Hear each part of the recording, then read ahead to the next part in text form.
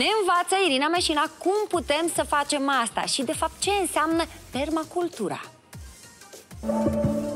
Totul pornește din grădina casei noastre, felul în care o creăm și o îngrijim are o influență puternică asupra vieții noastre și a familiei. Am descoperit că este posibil de grădinărit altfel, din lipsă de timp. Am găsit metoda asta în care nu este nevoie de prășit, de săpat. Pământul se acoperă cu un strat gros de paie, iar apoi în timp se formează un ecosistem al solului foarte sănătos.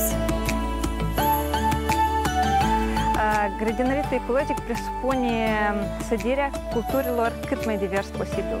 Adică roșiile se sădesc împreună cu busuioc, gălbenele, castraveții împreună cu mărar, țigăncuși. Și astfel aceste plante se ajută reciproc, ele se numesc plante companion, ele se ajută, respectiv nu sunt atât de supuse bolilor. Totul este natural. Nu se folosesc îngrășăminte sau tratamente chimice de niciun fel, iar plantele cultivate sunt propagate din semințe netrate și adaptate zonei de cultură.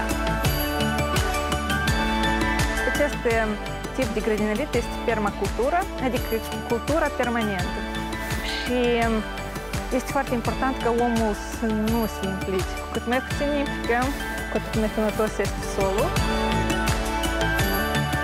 Scopul permaculturii este să creeze sisteme agricole stabile, productive, care să răspundă nevoilor umane și să integreze armonios mediul cu locuitorii săi. Iar pentru cei interesați, mai nou, Irina își împărtășește pe contul ei de Instagram, pas cu pas, experiențele în grădinăritul ecologic.